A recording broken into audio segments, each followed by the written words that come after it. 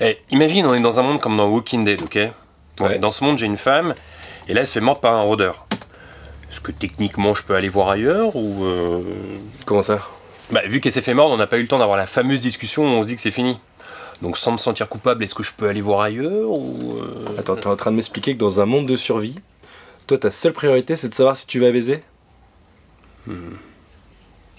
Ouais, ouais, ouais. Bah oui, mais ça. Eh, tu te souviens de la première fois où on voit euh, Merle dans la série? Il est sur le toit en train de viser des rôdeurs avec son sniper. Bah ce jour-là, des gens ont appelé le SWAT en leur disant euh, Venez vite, il y a un ouf sur un toit en train de tirer sur des gens, c'est un enfer, etc. Du coup, grosse panique. Le SWAT est arrivé en vitesse, mais très vite ils se sont rendus compte que c'était un tournage. Eh, c'est marrant parce que euh, Rick et Shane dans la série ils sont meilleurs amis, Ouais. mais ils sont aussi meilleurs amis dans la vraie vie. Du coup, leur complicité elle était pas très difficile à jouer. Euh, tu vois l'arbalète de Daryl dans la série? Ouais. En fait, aux États-Unis, tu peux l'acheter librement dans le commerce. Tu as juste à aller dans un Walmart, c'est l'équivalent de euh, Carrefour là-bas, et tu la trouves pour 320 dollars. Un jour, Steven Yeun, euh, le mec qui joue Glenn, il a raconté un truc hyper drôle en interview. En fait, ses parents, ils sont coréens, et ils regardent Walking Dead sans sous-titres, du coup, ils comprennent pas tout. Et un jour, il y avait un épisode, je sais plus lequel, où il y a euh, Carol qui sauve Glenn. Bref, le lendemain, le père de Steven Yeun, il l'a appelé en lui disant La meuf qui t'a sauvé hier soir, là, je veux que t'ailles la remercier. Et Steven Yeun, il était en mode Non, mais papa, c'est de la fiction, c'est pas vraiment arrivé, m'a pas vraiment sauvé, quoi. Et son père, il lui a répondu Je veux pas le savoir, tu la remercies, c'est tout. Et du coup il a remercié Ouais, il était obligé. Eh, à ton avis c'est à quelle odeur un rôdeur Hmm, je dirais les chiottes de gare du Nord, mélangées. Euh... Non, rien, juste les chiottes de gare du Nord. Tu connais? Non, non, j'ai. Ah, N'y va pas, n'y va pas. Tu te souviens de la première fois où on voit Michonne euh, avec ses deux rôdeurs derrière? Ouais. Bah en fait c'était pas du tout Michonne, enfin pas celle qu'on connaît. À cette époque-là ils avaient pas encore trouvé l'actrice pour incarner le personnage, du coup ils avaient fait exprès de rendre la scène un peu mystérieuse, c'était très sombre, on voyait pas la tête, c'était fait exprès, etc. Eh, la dernière fois j'ai appris un truc de ouf. Apparemment Walking Dead ça se passerait dans l'univers de Breaking Bad. Bah attends, c'est quoi ce délire Ok, je t'explique. Bon, déjà, faut savoir que c'est AMC qui produit les deux shows, ok Et si t'es hyper attentif, tu remarqueras que dans un épisode, on peut apercevoir un sac où on voit de la bloumette à l'intérieur, la drogue que cuisine Heisenberg. Mais y a pas que ça, tu te souviens de l'épisode où euh, Glenn rentre au campement avec une putain de voiture Ouais.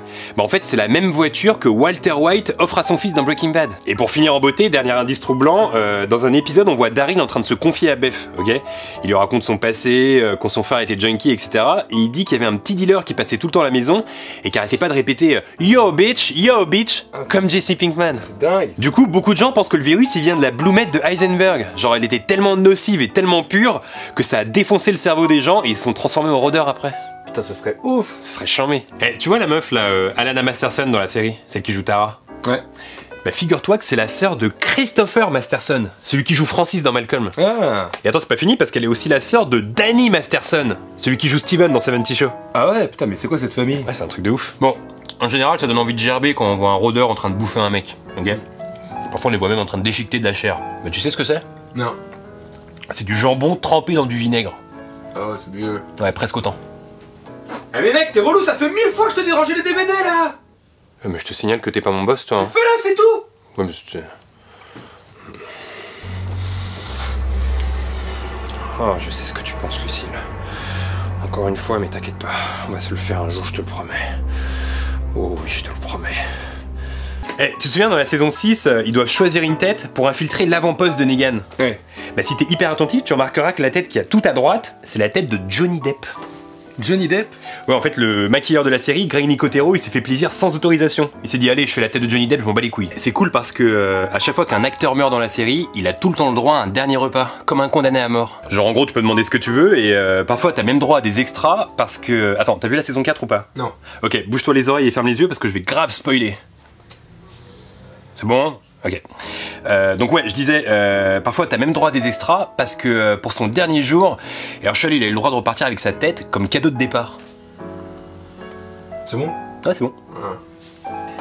Je me suis toujours demandé euh, quelle vie avait eu Negan avant le virus. Et ben Robert Kirkman, le mec qui a créé euh, Walking Dead, il a tout expliqué dans la BD. En gros, on apprend que c'était un type plutôt sympa qui vendait des voitures d'occasion et qui était euh, prof bénévole de ping-pong dans un lycée à côté de chez lui. Ouais. Parfois, il y avait des parents d'élèves qui se plaignaient parce qu'il était un peu grossier et qui punissait facilement.